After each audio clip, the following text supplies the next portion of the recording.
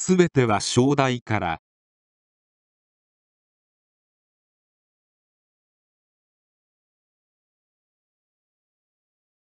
1題目の代理訳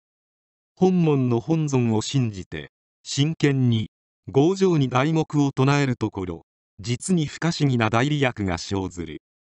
祈祷書に大地は笹場外れるとも虚空をつなぐものはありとも潮の満ちひぬことはありとも。日は西よりいずるとも。法華経の行者の祈りの叶わぬことはあるべからずとのご指南がある。この御門をそのまま行事。実践して想像もつかない代理役を受けた人々は数えきれないのである。医師より余命3ヶ月と宣告された人が真剣な正代で回復したことやあらゆる医師が手を挙げる難病を救われた人々。さらに大事故による後遺症が完治したとうとうの功徳体験はその後を絶たない。その他妙とは不可思議と言われるようにありえないほど不可思議な利益が続出している。これは第五本尊の功徳が崩壊に変満しその真理が虚空に通じているから題目を真剣に唱える時その人の命に功徳が妙合するのである。人の命は本来不可思議である。しかし題目を知らなければその命が不可思議の功徳を生じない。方々によって悪号が生じ悪号によって苦が生ずる。あらゆる身体の不調も意志も望みを絶つ難病も知らず知らずに過去に犯した法に背く罪によっている。その流れのままではあくまで苦の中の命である。妙法を行ずる時その苦の命が一転して不可思議の功徳を生ずる。これを信じて病苦の人あらゆる苦しみに悩む人は強情に承代をされたいものである。また明一山御前を消息に法華経を信ずる人は冬のごとし冬は必ず春となる。未だ昔より聞かず見ず冬の秋へ帰れることを未だ聞かず法華経を信ずる人の分布となることをとの御門を拝する。人生のさまざまな宿業と出会いの中にあってその生存中に種々の不足不満不幸が訪れその中に埋没しつつある人も多い。しかし右のご金言のようにご本尊を信じ妙法を絶えず授事信行する時冬のような厳しい人生が春の暖かい幸福な命となる。その変化は外からでもなく内からでもなくただ妙法の功徳でありまたその功徳が外からも内からも現れて真の喜びと幸せを生ずるのである。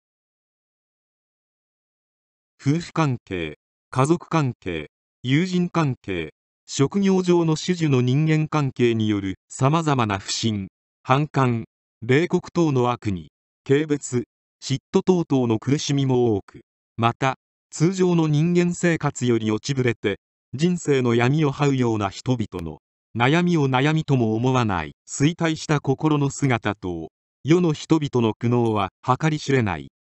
しかし妙法を真剣に従事する時その冬の人生は必ず春と開いていくのである。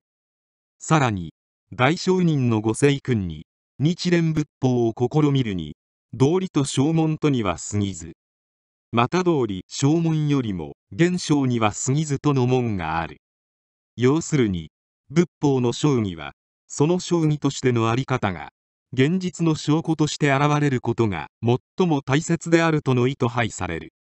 大聖人御一護の御家道はあらゆるところにこの現実の仏法の不可思議な証拠を表されている。しかしこの現象は大聖人お一人ではなく妙法を信じ行ずる全ての人に現れるのでありそれが病苦の克服生活上の正しい信念と確信力強い生命としての実践全ての人間関係の好転等の所得を実証した人々においての現実の証拠として存するのである。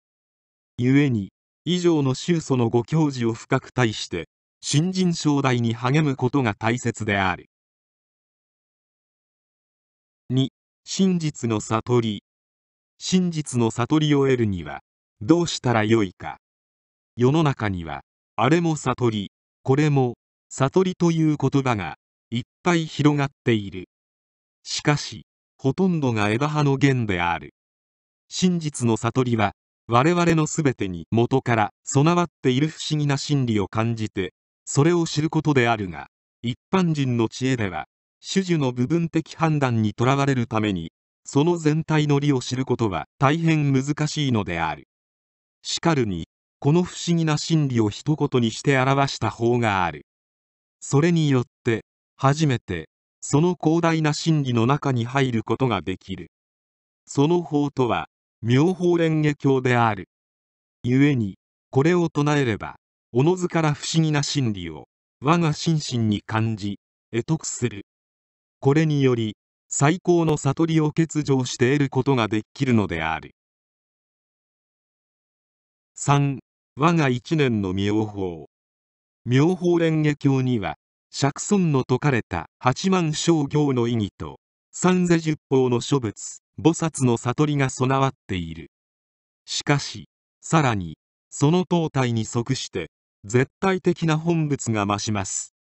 すなわち苦音の根本の時と末法の時がそのまま相続する実在としての忍法一体の本物日蓮大聖人である。しかもその妙法は我々の手の届かない遠いところにあるのではなく本来妙法を唱える我が一年に備わっている。故に忍法一家のご本尊の妙法を信じ唱える時我が一年がそのまま広大な功徳を持つ妙法蓮華であることを命の奥底に悟るのである。4我が心を磨く。我々の心には本来無明という煩悩がありこれによって常に種々の迷いが生じている。故に我々の心は磨かない鏡のようなもので常に曇っている。しかし鏡を磨けば高校とした明鏡となるように曇りが晴れれば真実の法を悟った心となる。故に迷いの心を持つ我々は常にこれを正しく磨かねばならない。その磨く方法はただ一つしかない。それはただ南明法蓮華経と正教のご本尊に向かい唱え立て祀ることである。5真実を開く。御人の心は常に善や悪についてあれこれと迷い悪を捨てて善に向かわなければならないと思っているが現実の層において愚かな心は善に背き悪を行じている。また小さな善にとらわれてより大きな善に背いている。これは小さな道徳感に縛られているからで善と悪を相対して考える差別の心である。さらに真実を開けばその善悪の心の全体が妙法蓮華なのである。故に妙法を唱える時あらゆる善悪の心に今まで感じたことのない徳が生じ信心をもって唱え続けていくことで小さな悪や中間の悪また大きい悪さらに小さい善や中間の善を超えた大善によりそれらを照らし生かす心境となり一生のうちに仏となることができるのである。6尊厳の体に帰す。我々の身体や性質は各人共通して同じところもあるがまた各人各用であらゆるところが異なっている面もある。すなわち平等の面と差別の面である。身体や精神にいろいろな故障があったり性格の違いや対人関係の問題等で多くの人が互いに悩んでいる。これは自己の命の奥に複在する限りない真実の体を見失っているからである。万物のより高い次元で共通しているのは尊厳の二次である。妙法は我々の尊厳の体であり真実の体である。故に妙法を保ち唱えることはこの尊厳の体に帰するのである。七真珠の仏現る。一年に崩壊三千をぐすという観念も一心に空家中の利をすべてグストの漢方もことごとくそれが妙法蓮華経に収まっている。また崩壊のすべてに通じすべてを備える妙法蓮華経は我らの一心に収まっているのである。したがって忍法第一の妙法を唱える時あらゆる仮の教えや我が心の身を中心とする方法では全く現れることのない本来の心中の仏が現れるのである。8本地人人の王像。天台の尺にこの妙法蓮華経は本地人人の王像。三世の如来の衝突するところなりと説かれている。これはあらゆる経典の中で妙法蓮華経が唯一最高の教法ということである。日韓上人はこの門について門に本地とはすなわちこれ本門の階段なり曰く本尊所住の地なり故に本地という。本尊所住の地兄階段にあらずや。門に人人とはすなわちこれ本門の本尊なり。天台の元の121に曰く実相を人人と名付く云々。妙楽の曰く実相は必ず処方処方は必ず十女十女は必ず十回十回は必ず震度云々。実相人人兄一年三千の本尊にあらずや門に王像とは王像は濃淡なり霊せば自我の第四に最も人言となす故にこれを王と言い象とは天台曰く法運を象となすと優がごとし云々。故に陳ル王像とは本門の題目なりいわゆる題目の中に万行を法運するがゆえなり今三大秘宝総在の妙法に訳するゆえにこの妙法蓮華経は本気人人の王像というなりと解説されている。このように本地人人の王像とは三大秘宝であり南明法蓮華経の五時七時の意味は到底簡単に述べられるものではない。しかし我々が唱える一辺の題目に一切の意義がこもっているのである。その一切を含めたところに妙法蓮華経の深い意義があるから正題をすることによって現世安穏五正全書その他あらゆる心身充実の功徳が現れることは当然である。また過去以来の方々在所の因縁によって様々な間違った欲望や考えを持っている命は妙法の正代をすることによってその誤りがだんだんと閉ざされてくるのでありそのことによって自らの命の症状がおのずと図られてくるのである。あらゆる意味からこの妙法を唱えることが一切主情の成仏の道であり真に自他を救っていく道である。我々相続一同は常にその実証をもってしっかり信行に励まなければならない。9純逆二縁ともに成仏です。妙法の功徳は教えを聞いて正しい信仰に入る純縁の人と教えを聞いて背き逆らう逆縁の人を共に救う。随記し承代する者は仏となる。また従わず逆らう者も崩壊全体に広がる目に見えない網のような因縁においての絶対な妙法と善縁を結ぶゆえにこの優れた縁により未来において救われるのである。10真空三号の功徳成就。愚かで文章も読めないような人が南明法蓮華経を唱えて利益があるのかという疑問を抱く人もあろうが利益は必ず損するのである。正代により我々の身と口と意のうちまず苦悩の功徳を成就する。これにより仏の種子がおのずから胸に収まり信号と異号にも次第に善の功徳が積まれやがて将来に仏道を成就する人となる。11海への大功徳。釈尊の四十四年の諸教は法華経の一文一文を方便として説かれた。これを相対名という。したがってやがて法華経に全てが記入する。これを絶対名という。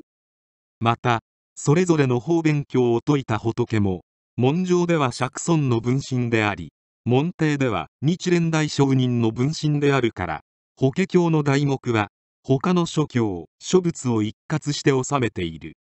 これらの諸教諸仏は法華経から開かれたのであり妙法はその全てを活用する大功徳を備えることを知って題目を唱えるべきである。12現世安穏五正全書。妙法を保ち唱えていけば必ず現世が安穏となり五章は全書となる。故にこの根本の道から外れ忘却していたずらに軽薄な欲望に基づく名誉や利得のためのみに教本すべきではない。あらゆる内や外からの障害に惑わされず世事においては正しい道の上に生活を行いかつ信仰においては一心に忍法一家のご本尊を信じ南明法蓮華経と唱えまた他の人にも積極的に進める心になることが肝要である。13妙法の三世の功。徳末法の我々は既婚が下がっているため自分自身の前世のことは安昧である。しかし仏法の三世の因果より見れば全ての主情が前世より善悪の種々の業を作っている。よく見れば人々の過去の因縁がどうであったかは現在の結果を正しく見ればそこにおのずから明らかに出ているのであり未来の結果がどうなるかは現在の因縁を見ればまた明らかである。今世に妙法に巡り合い題目を唱える人は前世に大きな仏縁の功徳を積んでいるゆえに妙法を聞いて真を起こすのである。十四妙法人縁の徳。法華経の題目はその意味も義理も知らない人がごくたまに南妙法蓮華経と唱えてもすでに人縁が生じたのであるから。その功徳で将来は妙法の悟りを極めるに至るのである。それは題目が八万小行のすべてをくくる肝心であり一切の仏がこの題目を寛容とされている徳によるからである。15教行人理の初回と納会。法華経に方便の門を開いて真実の相を示すとあり妙とは方便の門を開くことである。その内容とは教行人理について方便がある。教において像通別の三教は方便で縁行が真実でありまたこれを具体的に説いた経典では華厳阿言報道般若は方便で法華経が真実である。行では二前教で説く諸行が方便であり法華経で説く呪事読呪等が真実である。人においては諸教のそれぞれに示す修行の人の位は方便で法華経に説く位が真実である。理では造教の短空通教の大空別教の短中の理が方便で縁行の縁遊中道の理が真実でありまた教の部に訳せば華厳の別縁阿言の造教報道の造通別縁般若の通別縁はそれぞれ像通別が混じるゆえに方便で法華の順縁が真実である。妙の一時はこれらの協業が方便不真実であることを決するとともにこの全ては妙の一時より種々の既婚に対する方便として出生したものであり従って法華経以外の諸教の教行人理は法華経から開かれたところの初回でありそれらはことごとく法華経の体内に帰するのが納会の意義である。題目はこの全てを含むゆえに正題は一切の協業の功徳を備えるのである。